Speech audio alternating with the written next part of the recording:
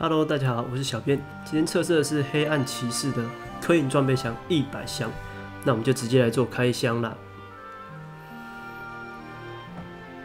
好，那黑暗骑士的这个刻印装备箱，基本上有些内容大部分是跟骑士差不多，可是呢，会有一点点差异，我们就来开给大家看。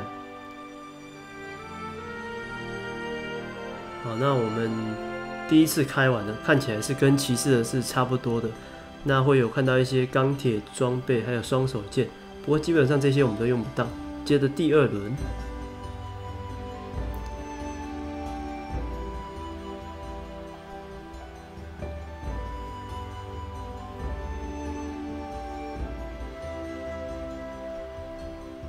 好，那第二轮呢？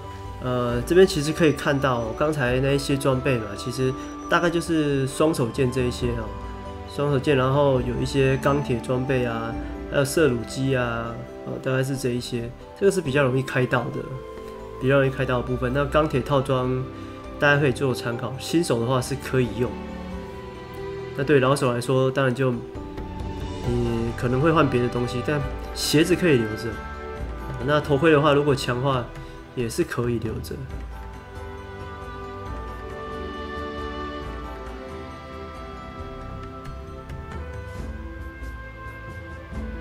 好，那很快的呢，我们开到最后了。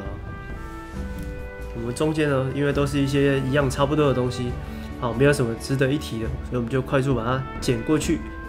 那这里哦，你可以看到啊，这边有两把不一样的，这一把叫短刀啊，它是比大马还好还好一级的这个不坏刀。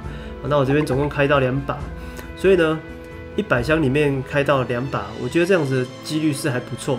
虽然说也可以开开到大马刀，不过短刀相对来说是比较好的，它多了一点的攻击，还有多了一点的命中，所以它是绿刀。